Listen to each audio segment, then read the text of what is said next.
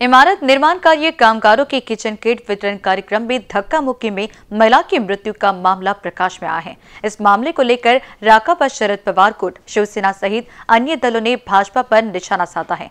इसी श्रृंखला में आज कांग्रेस पार्टी की ओर से विकास ठाकरे के नेतृत्व में जिलाधिकारी कार्यालय का घेराव कर कार्यवाही की मांग की है। कामगारों को किचन किट वितरण कार्यक्रम में महिला की मृत्यु के मामले में आयोजकों के विरुद्ध में हत्या का प्रकरण दर्ज करने की मांग कांग्रेस ने की है।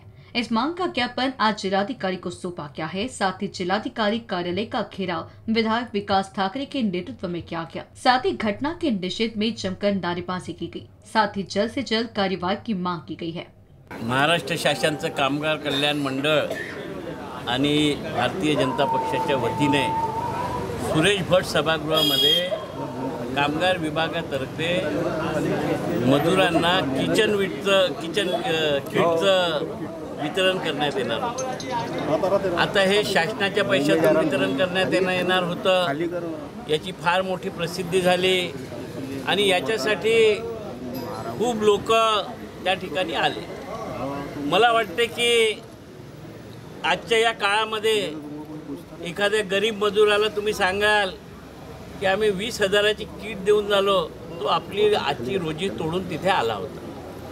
मग आपल्या तेवढ्या लोकांना देण्यासाठी किट उपलब्ध आहेत काय? मग आपण बोलावलेल्या लोकांची तिथे व्यवस्था होणार आहेत काय? ही सर्व जबाबदारी प्रशासनाची राहते. हल्ली प्रशासन एखाद्या पॉलिटिकल पार्टीची मिटिंग असली तर किती लोक येणार आहे म्हणून त्याचं नियोजन करते.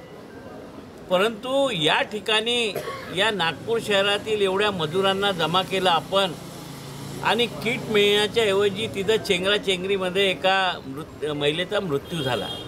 आता मला वाटतं याला दोषी कोण आहे? याचा शोध घ्यायला पाहिजे.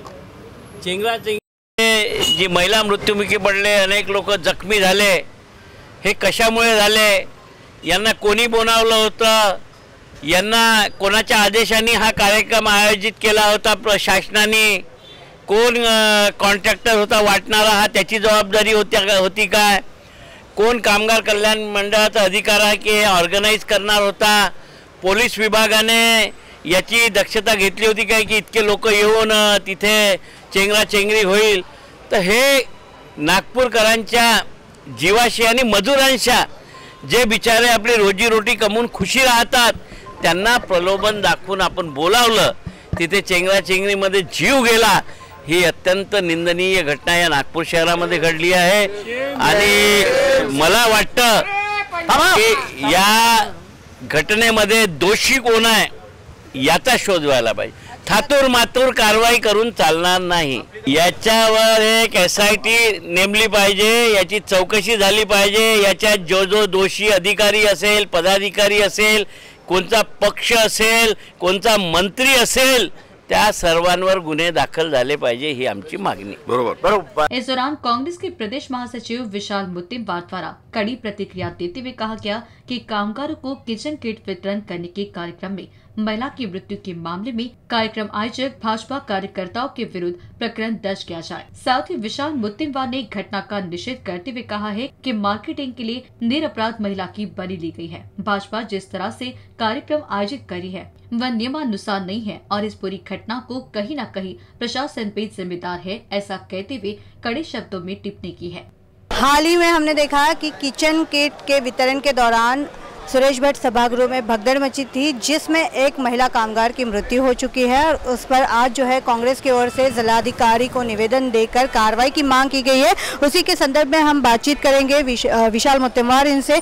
सर आपने आज निवेदन दिया है क्या बताओ? देखिए बहुत ही दुखद घटना हमारे नागपुर शहर में हुई और ये केवल प्रशासन और भारतीय जनता पार्टी की जो प्रसिद्धि की जो ओढ़ है कि पब्लिसिटी एट एनी कॉस्ट और वो भी पब्लिसिटी एट पब्लिक्स कॉस्ट तो उसका एक जीता जागता उदाहरण जो है, वो ये जो नागपुर की घटना है, वो हुई है।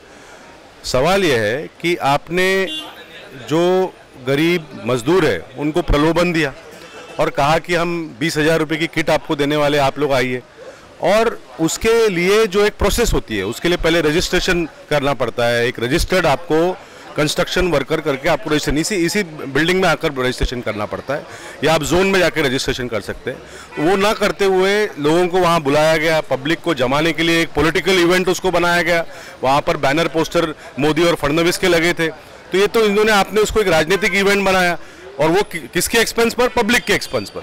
और उसका कोई नियोजन नहीं।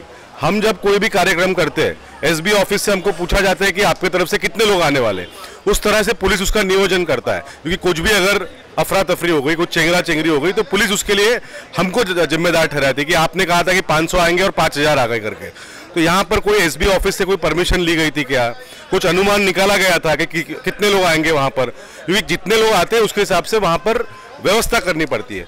वीडियोस में साफ़ दिख रहा है कि एक दो हवलदार वहाँ थे और प्राइवेट सिक्योरिटी गार्ड थे।